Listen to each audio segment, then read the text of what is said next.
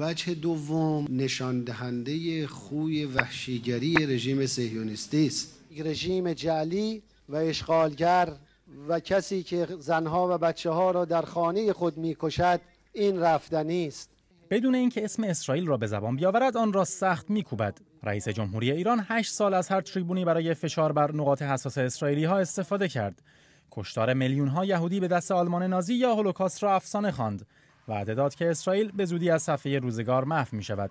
موزگیری های تند آقای احمدی نژاد هم از تریبون سازمان ملل متحد بارها با اعتراض جمعی دیپلمات های غربی مواجه شد. خشم و انزجار اسرائیلی ها از شخصیت جنجالی محمود احمدی نژاد اما به معنای آن نیست که از کنار رفتنش خوشحالند. احمدی نژاد چهره زشت رژیم ایران است. بنابراین از نظر اسرائیل او برای نشان دادن ماهیت رژیم به افرادی که شاید ساده باشند بسیار مفید بوده. اگر شخص باهوشتری به جای او بود اما همچنان به ساخت بمب اتمی ادامه می‌داد از تروریسم در دنیا حمایت و با مردمش وحشیانه برخورد می‌کرد کار ما در افکار عمومی جهان سختتر می‌شد. اما احمدی نژاد کار ما را راحت تر کرد. بنابراین ما به نوعی از پایان دوره ریاست جمهوری او متاسفیم. היום מוטלות על איראן סנקציות חסרות תקדים. And when the Iranian nuclear program is rolled back.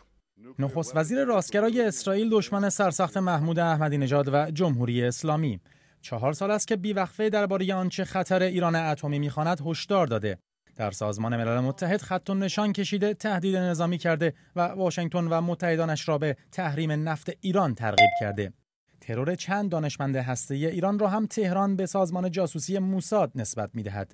برنامه اتمی ایران از دید نخست وزیر اسرائیل خطری است قریب الوقوع علیه موجودیت کشورش.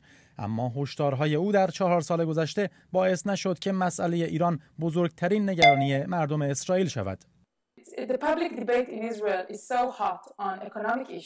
بحث عمومی درباره مسائل و مشکلات اقتصادی اونقدر در اسرائیل داغه که تقریبا هیچ فرصتی برای اینکه مردم درباره ایران حرف بزنن وجود نداره. مردم اینجا فکر نمی کنند که موضوع ایران خیلی مهمه. مسئله اصلی برای اونها اقتصاده. نتانیاهو قادر نیست که تمرکز افکار عمومی رو از مسائل اقتصادی به مسائل امنیتی معطوف کنه. هر چند سال گذشته تمام توانش رو در این باره به کار گرفت.